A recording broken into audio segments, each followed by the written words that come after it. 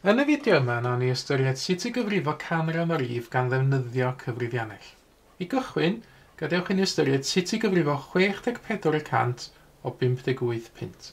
Nawr, ar y cyfrifiannell yma, ffordd sy'n ni'n gwneud hynny, fysa cychwyn efo'r arian sy'n gyda fi, 58 pint, a wedyn lliosi efo'r ganran, felly lliosi efo 64, ac yna y symbol camran ar y cyfrifiannell yma, mae uwch ben y botwm cromfach fan hyn, Mae'r lliw melyn, felly dwi angen pwyso shift i gael at y bottom canran, felly shift, canran, dwi'n gweld y canran ar y sgrin, pwyso yn hafal i rwan.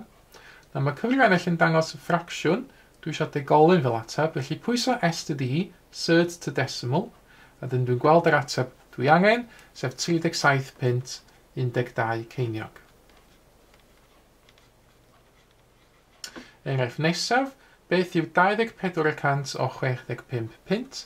Dwi'n cychwyn efo faint o arian sydd gynnu fi, 65 pint, a lliosif ar ganran. Lliosif o 24 ac i gael y canran, shift, rhamfach, pwyso'n hafoli, S to D, dwi'n gweld fod o yn 15.6. Rwy'n gymryd bach o fel efo arian fan hyn. Rwy'n os dwi'n sgwennu beth dwi'n weld ar y cyfrifiannell, 15.6.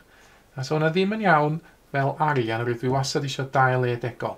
Felly dwi angen cofio ei dim efo'n hyn, 15.60 pint ar fysa'r ateb cywir. A mae'n gweithio fe unrhyw ganran, wnaeth o weithio fo 78.300 hefyd, so beth yw 78.300 o 560 dolar?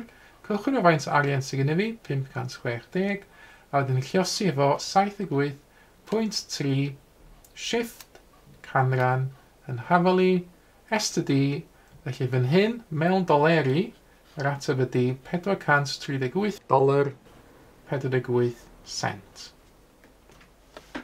Ceisiwch chi yn awr, defnyddio'ch cyfrion eich hun i weithio allan y canrannau ydych chi weld ar y sgrin.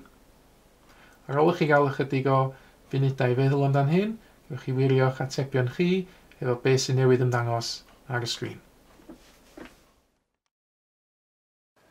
Mae mwy o fideos adolygu ar gael ar ein sianel YouTube Adolygu Mathemateg. Am y newyddion diweddaraf neu holi cwestiwn, dilynwch ein cyfrif trydar at mathemateg.